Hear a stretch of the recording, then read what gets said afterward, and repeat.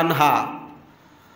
আটা ফিসতে ফিসতে ফিসতে ফিসতে ফিসতে আতর, খাল চলে গেছে। সামলা বিনষ্ট, রক্ত বের হয়। আলী রাজি আল্লাহ আনহু বলছেন, যাও নবীজির দরবারও। এই যুদ্ধের মাছ থেকে কিছু গোলাম বান্দি আসছে। হয়তো নবীজি তোমাকে একটা বান্দিও দিতে পারেন। বুঝতে পারছেন?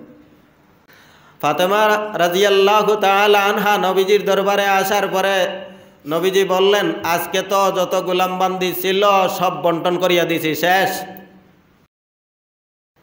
নিজের মেয়ে, অভাবে সংসার আর কষ্ট ভরা জীবন।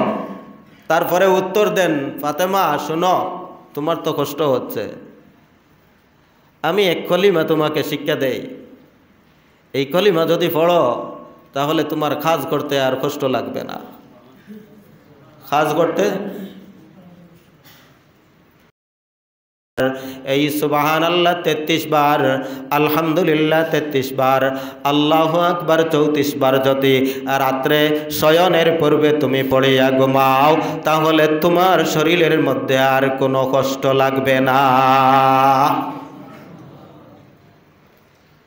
আমরাও যদি কোনো কাজ আমাদের জন্য বাড়ি এবং কষ্ট হয়, তাহলে এই তসবিহাত এটাকে তসবিহায় ফাতিমি বলে। কোন সময় পড়িবা?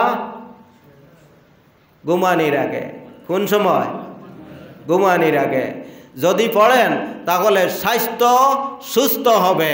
যদি পড়েন, তাহলে গুম অতি সহজে চলে আসবে।